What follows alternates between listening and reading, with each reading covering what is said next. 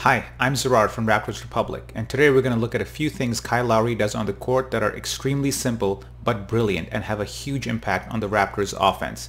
Let's take a look at the action. What's special about this one is that it's off a made basket, which usually results in you entering your half-court set, except Lowry does not relent, he pushes the ball up the court, and he has Jaylen Brown on him, but the Celtics are in sort of this switchy zone defense, and he recognizes that and he traverses a little further ahead and sees Williams on him, which is immediately a mismatch. He recognizes this, pulls back, and takes him straight to the rim for two. This is just good recognition of the situation that's developing on the floor and not just going into the half court just because the other team scored. Four things to note on this play. First, watch that initial burst by Lowry. He easily could have dribbled this ball up the court, but he pushes it up and then passes it to Fred. And as soon as he does that, the Celtics collapse on Fred. And Fred very knowingly knows that Lowry's trailing, passes the ball back to him. At this point, the Celtics defense is out of sorts, and Lowry is excellent at finding that seam. Here he does it again for two easy points.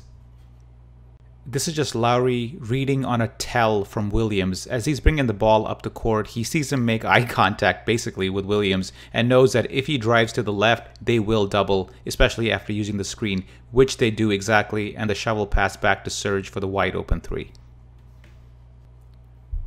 The Celtics defense hardens the more time you give it to set, and Lowry knows that. Even after made baskets, he will try to push the ball up the court and try to probe just to see what's there. Here you got Tatum and Brown both on him.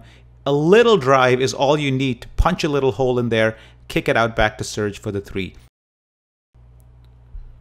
Passing up a good shot to get a great shot is a skill, as this clip shows. The Raptors move the ball around well, and at this point right here, Lowry has a clean look. That is an uncontested shot which he can make, except that him and Fred have played together for long enough at this point that he knows there's a better shot out there because two guys are running at him. He'll fake them out, pass it back to Fred, in rhythm, three. This play is pretty unremarkable on the surface, but the moment of magic really happens right at this point. There's a triangle developing here between Norm, Fred, and Lowry. But the question is, how do you get a clean look out of it? How do you get that numbers advantage? Two Celtics in the middle and the triangle. That's a three on two for the Raptors. How do you get a clean look out of it? Fred and Lowry have to communicate that, and they do it at this spot right here, where Fred will come out, which will force the Celtics to pick which two of Norm, Lowry, and Fred they want to guard. They pick Norm and Lowry. Fred is wide open for the three. This is just Lowry creating the shot by going to his left, allowing the Fred's the space to come out, and then making the pass back to Fred.